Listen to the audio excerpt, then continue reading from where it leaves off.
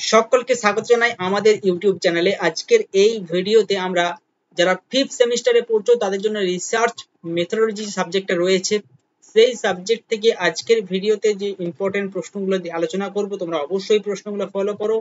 আমি শুধুমাত্র ইংলিশে লিখে দিয়েছি, কিন্তু আমি বাংলাতেও তোমাদেরকে বলে দেবো, বুঝিয়ে দেবো, তোমরা ইজিলি প্রশ্নগুলো পরীক্ষায় এলে লিখতে পারবে। খুব ইম্পর্টেন্ট প্রশ্ন, সম্পূর্ণ ক্লাসটা দেখো, আশা করি ভালো লাগবে। যদি ভালো লেগে থাকে চ্যানেলটাকে সাবস্ক্রাইব করতে একেবারে ভুলবে না। একই সঙ্গে আমি তোমাদের প্রচুর কমেন্টও কিন্তু পড়ছি এবং সেই কমেন্টে দেখতে পাচ্ছি তোমরা কিন্তু বারবার একটা কথা বলছো, দাদা এরকম ক্লাস তোমাদের খুব ভালো লাগছে। সে কারণে তোমাদের জন্য কিন্তু এরকম ক্লাস আমাদের আসবে এবং তোমরা ফলো করো এবং অবশ্যই ভিডিওগুলো তোমাদের কাছে একটাই রিকোয়েস্ট ভিডিওগুলো শেয়ার করবে, ঠিক আছে? তো প্রথম প্রশ্নটা দেখো, এখানে রয়েছে হোয়াট ইজ কোশ্চেনারি অর্থাৎ এখানে দেওয়া হয়েছে যারা ইংলিশ ভার্সনে পড়ছো তারা ইজিলি এখান থেকে লিখতে পারবে। কোশ্চেনারি জিনিসটা কি? অর্থাৎ প্রশ্নাবলী মানে সাপোজ মনে করো আমি তোমাকে কোনো প্রশ্ন করছি, একটা সেট অফ কোশ্চেন তৈরি করলাম, বিভিন্ন জায়গা থেকে ইনফরমেশন কালেক্ট করে, এবং সেই প্রশ্নগুলো তোমাকে আমি জিজ্ঞাসা করছি এবং উত্তরগুলো আমি খাতায় নোট ডাউন করছি। সেটা হচ্ছে এক ধরনের কোশ্চেনারি বা প্রশ্নাবলী।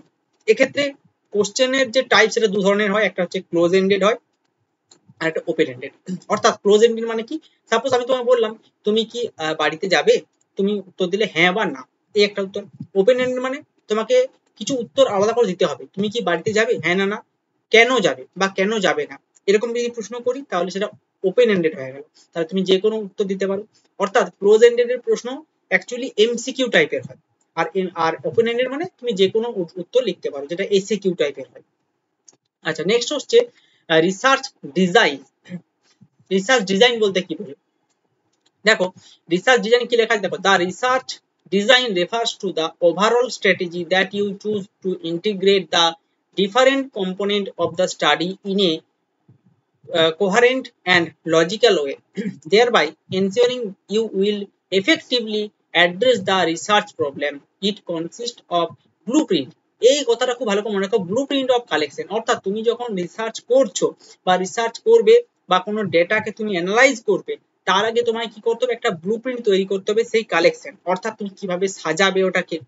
নকশা কীভাবে তৈরি করবে? ওই নকশাটাই হচ্ছে রিসার্চ ডিজাইন অর্থাৎ রিসার্চকে খুব সুন্দরভাবে প্রতিস্থাপন করার জন্য তোমাকে এই রিসার্চ ডিজাইনের উপর নির্ভর করতে হবে। তার জন্য তার যে কালেকশন করছ, যে ডাটাটা অ্যানালিস করেছ অ্যানালিসিস করেছ, সেটাকে তুমি নকশা আকারে বা ব্লুপ্রিন্ট আকারে তৈরি করতে হবে। ঠিক আছে? সেটাই হচ্ছে research design what is research tools কোন কোন টুলসগুলো তোমাদের রিসার্চ করার জন্য কাজে লাগে। দেখো, এখানে সিক্স জেনারেল টুলস রয়েছে। কি কি? এক হচ্ছে library and IT resources the computer and IT software software বিভিন্ন হতে পারে। Techniques of measurement statistic the human mind and language এই ছটা টুলস রিসার্চের জন্য ব্যবহার হয়ে থাকে। মনে রাখবে, এই ছটা টুলস কিন্তু তোমাদেরকে পরীক্ষার সময় লিখতে হবে। ঠিক এভাবেই পয়েন্ট করে করে তোমরা লিখে দিতে পারো। আর এগুলো ইংলিশে লিখলেও কোনো সমস্যা নেই, ঠিক আছে? পরের প্রশ্ন চলে আসছি। হোয়াট ইজ বিবিলিওগ্রাফি বিবিলিওগ্রাফি কি? দেখো বিবিলিওগ্রাফি মানে হচ্ছে একটা set of all source that you have used অর্থাৎ এখানে লেখা আছে যে তুমি যে তথ্যগুলো ব্যবহার করেছ, সেগুলো তুমি কোথা থেকে পেয়েছ? কোন জায়গা থেকে তথ্যগুলো কালেক্ট করেছ?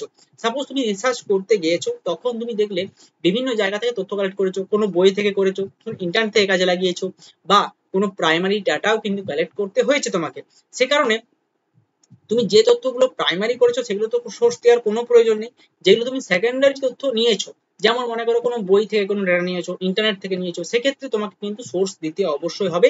সেই জিনিসটাকেই বলা হচ্ছে বিবিলিওগ্রাফি যখন একসঙ্গে ব্রাঞ্চ অফ সোর্স তুমি দেবে একসঙ্গে, সেটা হচ্ছে বিবিলিওগ্রাফি যেমন কি দেখো দ্য অথার্স নেম লিখতে পারো the title of the work লিখতে পারো the name of the location of the companies that published your copies of the source the dates you copies were published the page number you source, অর্থাৎ সোর্সের page number তুমি লিখতে পারো, কোনো বইয়ের page number তুমি লিখে দিতে পারো, কোনো সমস্যা নেই।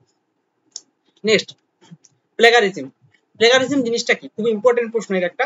Plagiarism is the present someone else work or ideas as your own with a with or without their consent or incorporate in it into your work without full acknowledgement মানে এটা কি?